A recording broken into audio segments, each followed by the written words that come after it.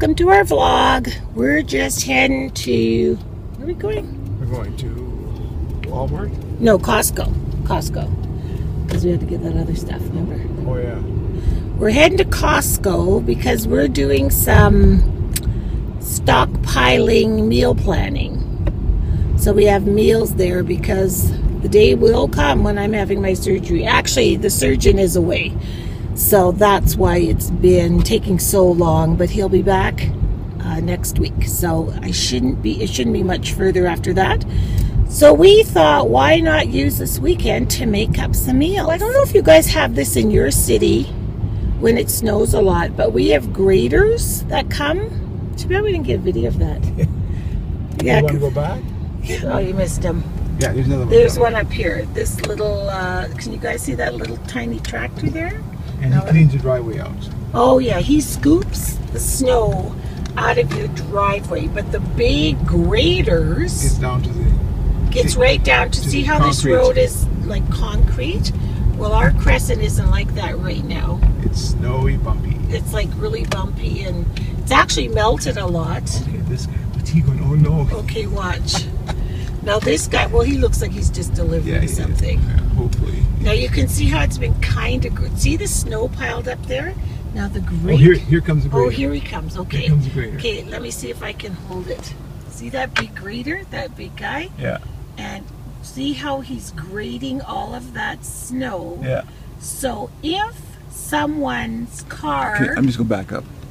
if someone leaves their car on the road, because you're warned, you get a, a notice. If someone leaves their car on the road, all of that snow there, see that? Blocks your driveway. And you're SOL, as they say, out of luck. Because it usually it's way more than that. And he goes right down to the pavements. So today we were trying to do the car relay dance because our driveway is only not a double driveway, but what do you call It's a single driveway, but a double garage, but a small double garage. So we have to car- park our cars one in front of the other as opposed to beside each other. So we were madly doing the relay dance because Richard was worried we were going to be buried under the grader. But we did it. So now we're off to Costco again. See, we came all the way back to show you guys that. Don't you appreciate it? Don't you appreciate the education that you get in our vlogs? I was just talking to Deanne. I'm just the school reminds me of it. I was telling her that when I worked for the schools, um, she was saying that Turner has today off, and it's a, a PD day, what they call professional development days for the teacher. Hashtag holiday. There's anyway. Um, Turner doesn't have school today because it's a professional development day. When I used to work at the schools, I used to literally, after Christmas, go through the calendar and circle all the days that we would have off in because it's so hard after Christmas. You go back, it's like, oh, and it was like the only thing that kind of got me through. See, there's a little bobcat right there. Anyway, so she was, I said, well, wait till February. He has way more days off. She goes, uh, no, I don't think so. I think he just has family day. And I said, nope, he's going to have way more. So she looked on the calendar. He has the 6th and 7th, which is Thursday, Friday. Then that gives you Saturday, Sunday, so four day weekend. He has a Monday off in February, another Monday. February is a very short month anyway. So I think he has four or five days in February. four or five days off in February. Then March is spring break, which is at the very end of March. And then if it's timed right and Easter's right, this is what I how I used to look at it from a holiday perspective. If Easter doesn't fall during spring break, it's like bingo man, bingo. And it doesn't this year, so they have all the spring break off. And then you have Good Friday, Saturday, Easter Sunday, and Holy Monday if you're a Catholic school. It's four days off. It's like Holy. Eureka. well, it's a holy sacred day. It's a holiday. So yeah, so she was counting all the holidays just laughing. That's so random, but whatever. We're just sharing. The weather's been fantastic.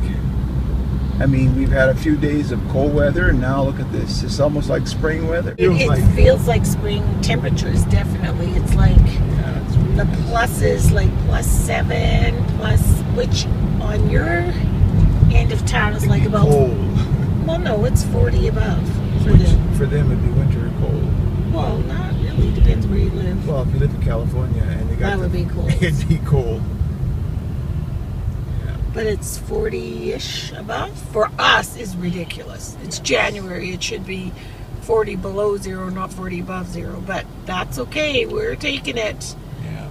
It's really. My sister is so funny. She says to me last weekend, Winter's over. I think the bulk of it's over. I go, It's not over. It's not over. Slap yourself awake. It's not over. We will get another cold crunch. No, we won't. I think it's over. I think it's done. I'm like, mm, I hate to burst your bubble, honey, but it isn't done. There's no way. When winter is like this, March comes in like a lion and goes out like a lion. And sometimes April comes in like a lion too. So, you know. We're slipping on the stairs, me included. But Ozzy in the last month has fallen twice and like landed pretty hard on his butt. On our craft sale, somebody fell. We've it's just our stairs are too slippery and it's we've got to fix this. And thank God none of the pregnant mummies have fallen. I don't I don't know why, but thank God they haven't on our stairs going down to our meetings and stuff. So this is what is permastick? So is this it? Is this the stick? This is it. Mm-hmm. So you For steps, ladders, entryways. Actually, you know what? You know our stairs. oh in the front, Front. yeah. Yeah, Oh look, look, there's snow. Yeah, yeah. So we perfect for could that. use this. Yeah. Hmm. Yeah. Is this expensive? It's five something a roll. That's not bad. Yeah. It's, this came all this came twenty eight dollars. How many did you buy? Five rolls. I wasn't too sure how many I need. I, I can take it back, but now that you're thinking about it, The I might stairs. use that for the stairs and take off that rug. Yes, especially that bottom Yeah. Yeah. Yeah. So I think. so it's called perma stick. It must be Important wax wax floors should be stripped before cleaning, and this is all this kind of stuff. You know, prepare your floor so it can't be wet. So obviously, I can't do the outside until I remove all the till you dry, dry off it off thoroughly. Yeah. clean surface thoroughly. Hmm. Surface must be smooth, dry, and above 10 Celsius. So I can't even do it now. Oh, right. It's not even 10. That's right. So this is the but it'll be good for, For later. Yeah, Yeah. and for later. Yeah. You can do here. yeah.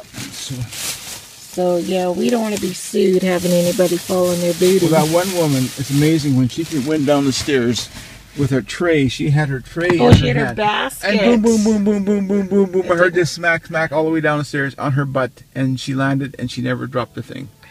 It was at our our craft sale. it was kind of fun. It was kind of funny, but not funny. But she wasn't losing one item out of that treasure box of her treasures. Oh, that's nothing.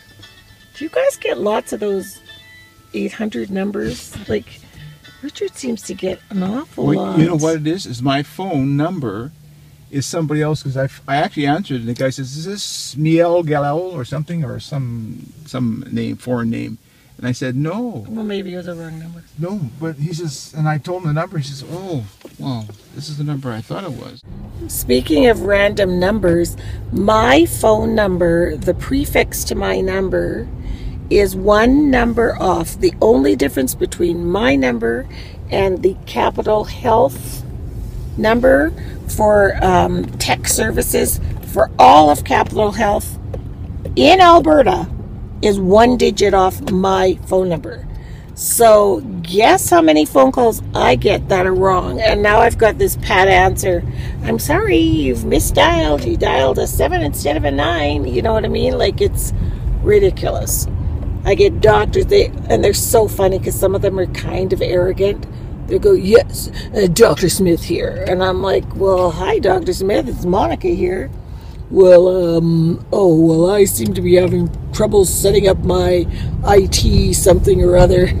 And I'm like, well, I can't help you with that, sir, but if you have any issues with delivering babies, I'm the one to call. And then they, it's just so funny. Because the more arrogant they are, the more I play around with them just because. Because I get so many calls.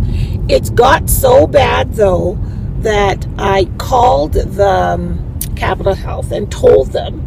And they sent out a memo to everybody to be very careful when they're dialing to make sure that they're dialing the right number because it's just one digit off and between seven and nine, so they're very close. And um, yeah, good thing I'm a nice person and I don't get all you freaked could, about it. You could probably get more business, doula business. No, but it's everybody in in like everybody, like internists. Um, Yeah, no, no, but I'm saying doctor's offices. You're in the medical field, so this is uh, good advertising. Just say Monica Doula, and there, there you go.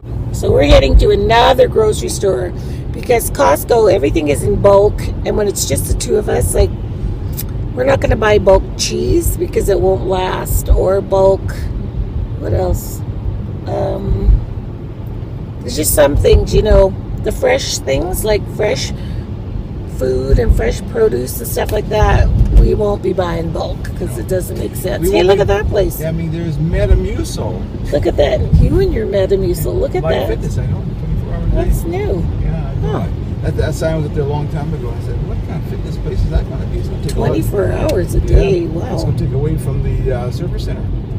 Oh, yeah. Well, maybe not. Probably more expensive.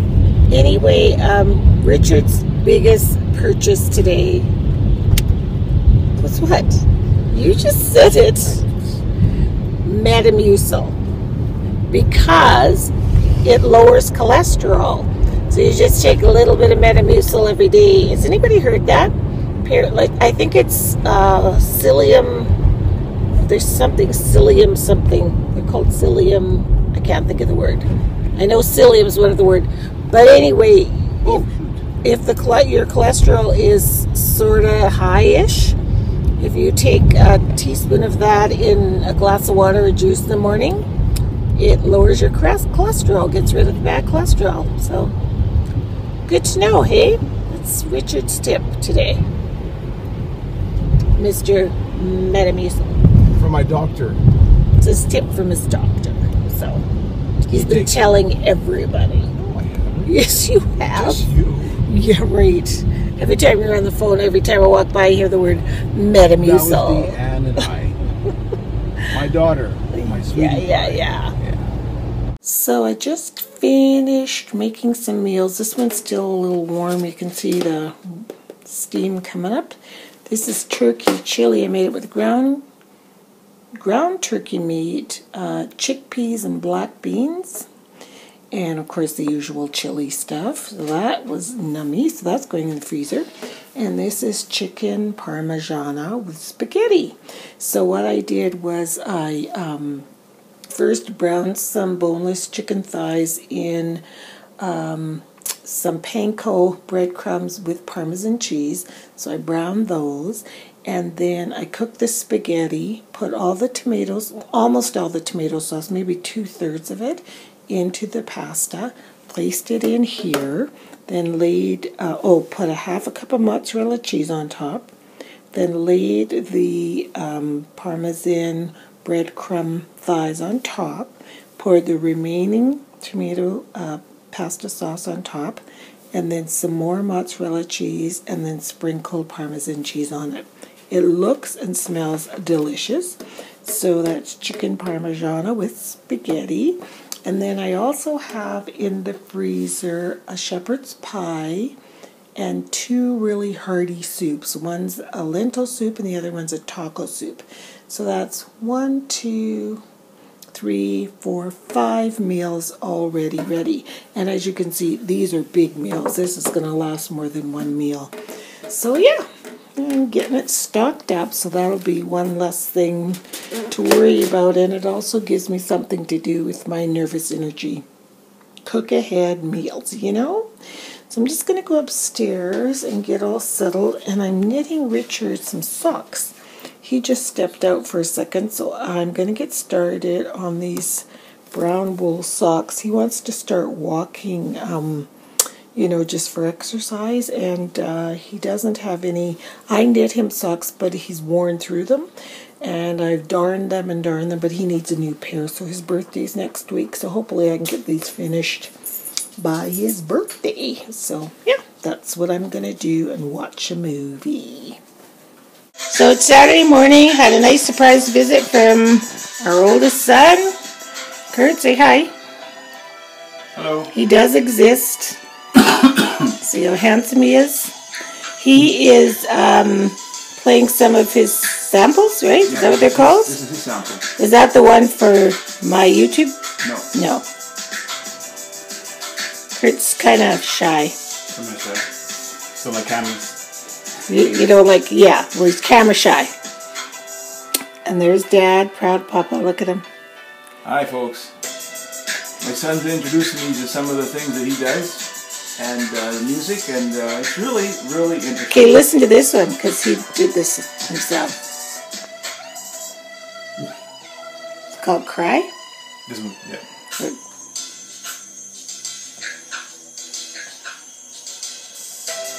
That's what he does for a hobby, sampling tunes.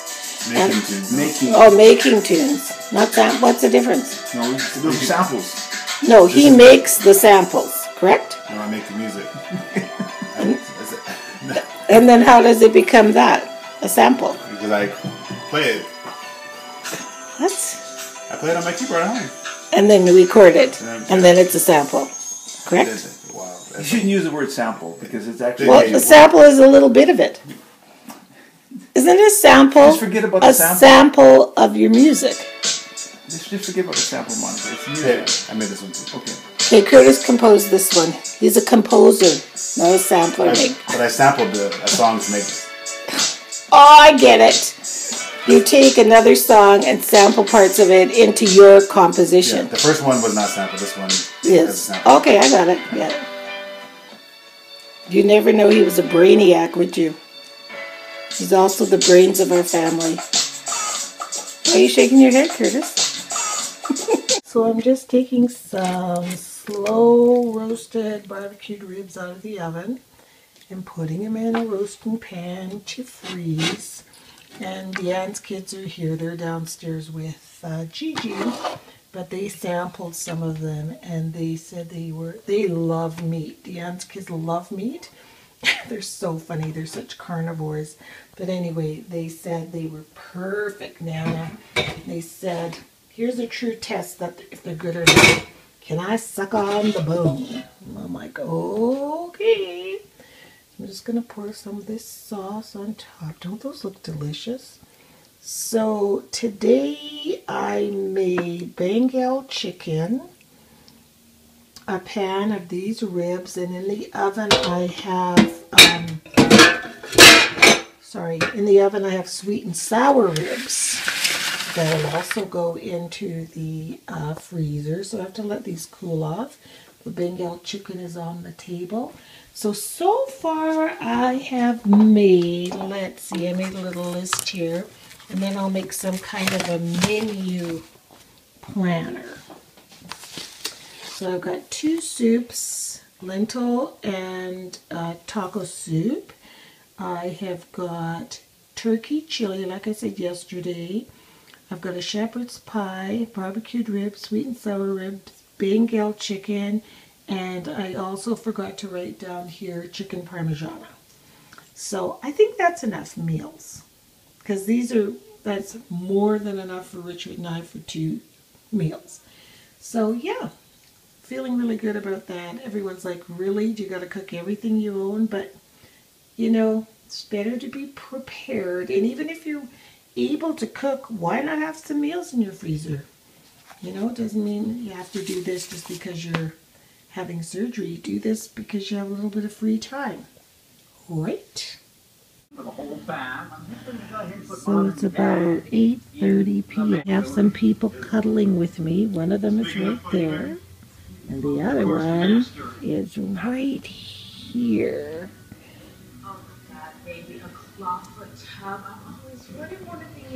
He's sleeping. He picked the movie, but he always falls asleep when it's movie time. So So what are we watching, Turns? What's it called again? The shower. Uh, he did it, or he thought he could do it? Turner, I'm thinking. something like that, right? Um, wait, no, no, I think I know. I think I know. So we're watching this movie. I think it's he thought he could When are we done? Oh, when are we done? That's right. Good remembering, Turner. That's really good. So when are we done? Is it a good movie, Turner? Yeah, it is. So good night, everyone. So I get some more lemon loaf. No, you're not having any. How much lemon loaf did you eat today, Turner? Only one pack. One loaf. Do you like lemon loaf? Yep. So it's another Sunday in the art cabin, and Turner is creating an original for his parents. It's really cool looking turns. Hello there, folks. You're silly. Can you tell me what you're painting? I have no idea. Just whatever the music makes you paint? You like this music? you do, don't you? Oh, it's the Manhattan Transfer, I think. That's a good name. And they sing all old tunes. And Percy's out here. Gigi's out here. All sitting by the cozy fire. It's pretty cold out today compared to yesterday. It's much colder than it was. So there's Turner's jacket up there and his boots somewhere. Are they on your feet? Yes. And then Turner's little brother Ozzy was out here and he painted this. And then he decided he was hungry. So he ate all our snacks. And then he went in the house to find more food. he ate everything. He ate all the cheese and everything. Look at Turner's awesome creation. Tell me that's not the coolest. I love the colors, love the dripping. He just poured, well, I helped him do that part, right? We poured the black and he held it up so it would drip. Very cool, Turner. I love it. Thank you. And he's gonna sign it when it dries. Good job, bud. Thank you. How old are you, Turner? I am seven. You're seven years old. Do you like painting? Yes. He loves to paint. That is really cool. I love it. Good job, bud. So we are just about to treat ourselves. Shannon came over to watch. What are we doing, Jen? Grammys in our jammies. That's right. And she made the cutest drinks. Look at these. With what is it? Meyer, Meyer lemons, lemons. and Meyer lemons. Sprite and ice. Yep. And it's like a slushy. How fun is this? And look with umbrellas. And she brought supper. Hooray! Chickens and salad. So we're just going to go watch the Grammys. So I'm going to bid you all farewell for this weekend. And I hope you're watching the Grammys with someone you love, like Shannon. And Richard, too. Are you watching the Grammys, Richard? I don't know. I might. I'll watch the game. So goodbye. Goodbye.